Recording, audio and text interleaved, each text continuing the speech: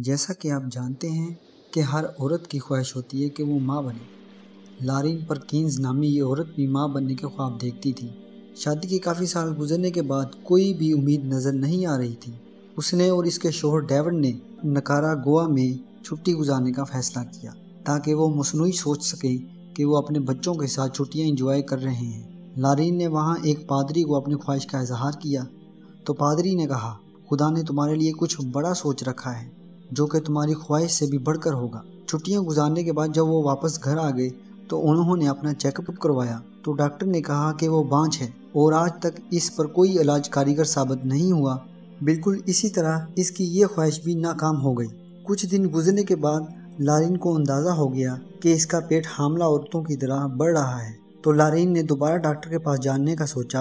Doctors ने checkup के बाद बताया कि इसके पेट में एक से ज़्यादा बच्चे पल रहे हैं। लारिन और डेविड डॉक्टर की ये बात सुनकर बहुत ज़्यादा खुश हो गए कि इनके पास दो जुड़वा नन्हे मेहमान आने वाले हैं। वो काफ़ी सालों से औलाद की नेमत से महरूम थे। इनके लिए दो जुड़वा बच्चों का होना किसी ख्वाब के सच होने से कम ना था।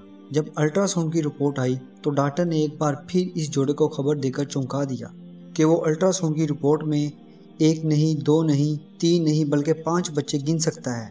लारिन और डेविड बहुत ज़्यादा हैरत में आ गए कि ये होना नामुमकिन है। डॉक्टर ने दोबारा रिपोर्ट देखी तो उसके बाद जो डॉक्टर ने देखा तो वो और भी चौंका देने वाला था कि शायद इसकी आँखें धोखा खा रही हैं। डॉक्टर देखता है कि इस रिपोर्ट में छः बच्चे नज़र आ रहे हैं। हैरत में डूबे इस जोड़े को समझ नहीं आ रही थी कि वो क्या करें।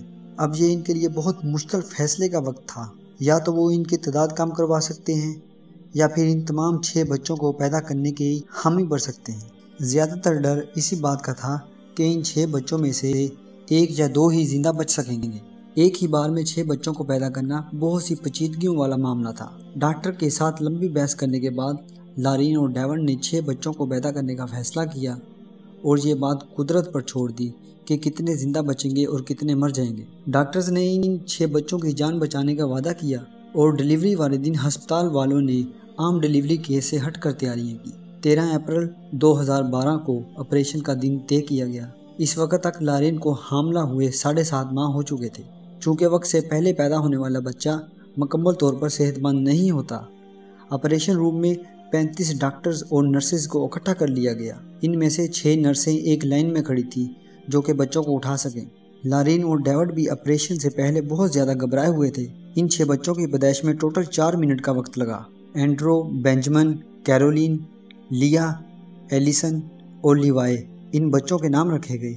इन तमाम छः बच्चों का वज़न पैदाइश के वक्त आधा किलो से एक किलो के दरमियान था। अगले कई दिनों तक माँ को बच्चों से मिलने की इजाज़त नहीं थी। आईसीयू में ले जाने से पहले इन बच्चों को एक बार माँ को दिखाया गया। ये बच्चे इतने सेहतमंद नहीं थे कि इनको इनके वालदेन के हवाले किया जा सके। जिनमें से एलिसन को चार दिन बाद माँ को उठाने की इजाज़त दी गई। एलिसन इन छः में से सबसे ज़्यादा सेहतमंद थी। एलिसन को उठाकर लारीन को पहली बार माँ बनने की जो खुशी महसूस हुई, यकीनन लारीन के लिए इसे लफ्ज़ों में बयान करना मुश्किल था। डॉक्टर्स के मुताबिक, पहले कुछ दिन इन बच्चों की सेहत के लिए नहायत अहम थे।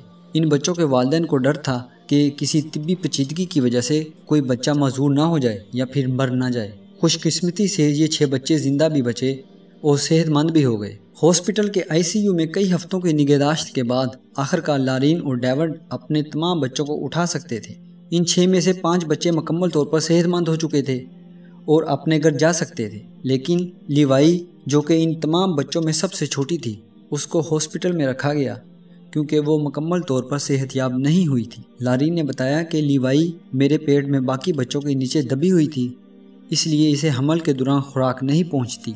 इसका ब्रेन भी अच्छी तरह ग्रो नहीं हुआ था। लारिन और डेविड के ख़ानदान वालों ने इनके मुश्किल वक्त में इनकी काफ़ी मदद की। हती के पराए लोगों ने भी इंसानियत के नाते इनकी माली मदद की, ताकि वो अपने छः बच्चों की अच्छी तरह परवरिश कर सकें।